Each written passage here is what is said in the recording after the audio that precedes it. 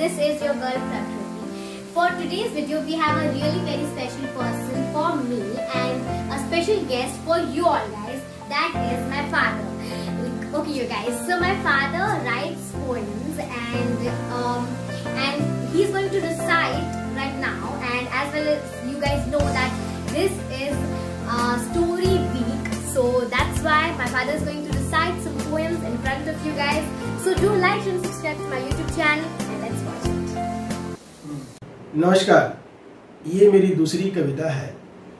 और ये कविता एक अनोखा तरह का कविता है। ये बिल्कुल गाँव से जुड़ा हुआ है, जब हम लोग का बचपन को याद दिलाती है। कुपवा एक प्रसिद्ध गाँव है बक्सर ज़िले में, मैं वहाँ रहता था। और कुछ अपने दोस्त, मित्र, भाइयों के बीच के बीच का कहानी है, ये बीच की कविता है। मुझे पूरा विश्वास है कि आप सभी को बहुत ही आनंद आएगा, बहुत ही अच्छा लगेगा। तो इसका जैसा शीर्षक है, बस यूँ ही।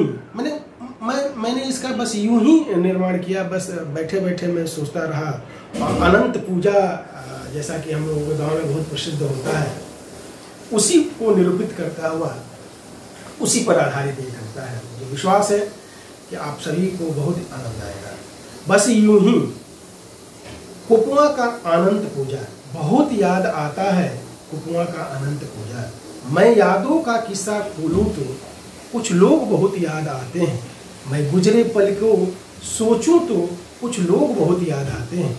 मैं देर तक जागूं तो कुछ लोग बहुत याद आते हैं।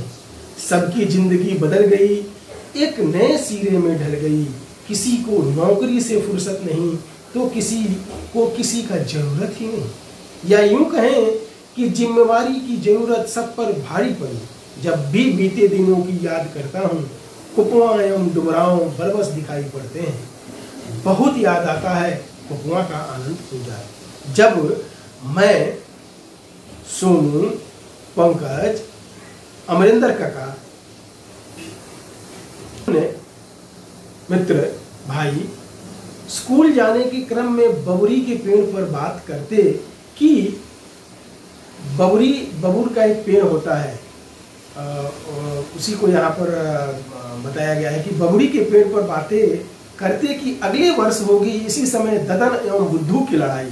हमारे यहाँ ददन पहलवान काफ़ी प्रसिद्ध पहलवानों में और बुद्धू पहलवान काफ़ी प्रसिद्ध पहलवान हुआ करते थे। उनकी लड़ाइयाँ बहुत प्रसिद्ध थी और उसको मैं और हम सभी गाँव के लोग बड़ी आनंद के साथ देखने जाते थे, आनंद पूजा के दिन। आगे अब लगता है कि हम क्यों बड़े हो गए? क्यों पाई इतनी बड़ी ज़िम्मेदारी? फिर सोच में डूब जाते कि अगले वर्ष ही होगी। संजय चाचा एवं ददन पहलवान की लड़ाई। लोगों के परिवार के हैं संजय चाचा मैं सोचता था अपने अंतर्मन से कि अब उनकी उनकी लड़ाई होगी। योगी वीर बाबा, बावन बिगैया ताल का खेल, गिल्ली डंडा, हॉकी क्रिकेट, चुनमुन चाचा की वो डांट बाबा से मिश्री पाने की होड़ इक को पैंतीसवा छत्तीसवा बनाने की ललक। पतंग उड़ाते उड़ाते हम गाँव के बगल के गाँव मुंगांव और कसिया तक चले जाना। अब पता नहीं क्यों कुकुआ भी लगने लगा है बेगाना। अब पता नहीं क्यों कुकुआ भी लगने लगा है बेगाना। बहुत याद आता है कुकुआ का आनंद पूजा। बस यूँ धन्यवाद।